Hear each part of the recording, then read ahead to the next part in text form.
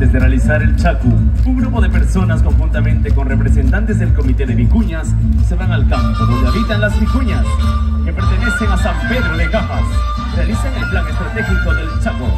Observan las condiciones climatológicas y geográficas y el lugar preciso donde realizan el cerco para encerrar a las vicuñas y realizar la esquila.